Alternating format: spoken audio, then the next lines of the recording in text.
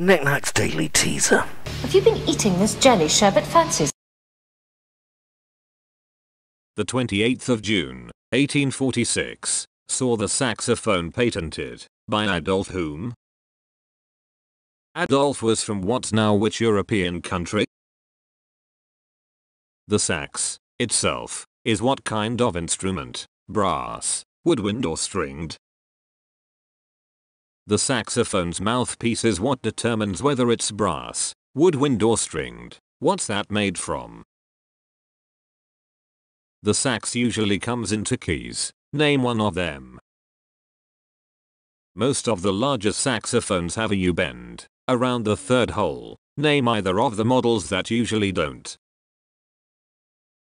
A traditional saxophone quartet has four instruments. Name any one of the four.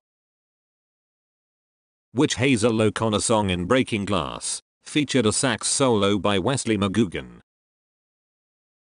Charlie Parker, Lester Young and John Coltrane all played versions of the saxophone. What genre of music did they play?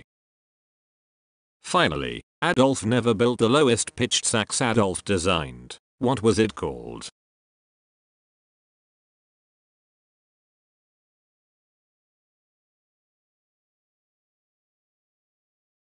Questions set by Paul Nak Downie and released under the Creative Commons Attribution Share Alike 3.0 imported license. Audio material and images are copyright of the respective owners. The presentation was written on a Mac Pro with OS 10.7.5 using iWorks 09 and iMovie 11.